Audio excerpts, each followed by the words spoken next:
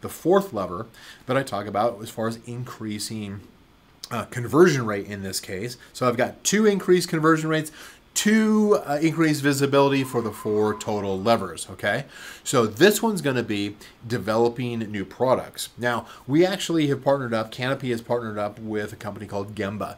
Gembah actually does the design specs and the the drafting and the layout and um, essentially all the, the schematics for manufacturing of products that you want to bring to market that may be new new okay? You're not simply just going out to alibaba and saying like okay that's already been produced let me go ahead and source it i'm this is assuming that you are a, an experienced seller okay? That you are have actually taken the time to listen to your target audience.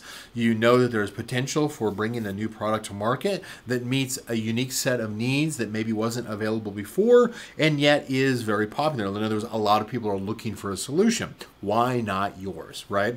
So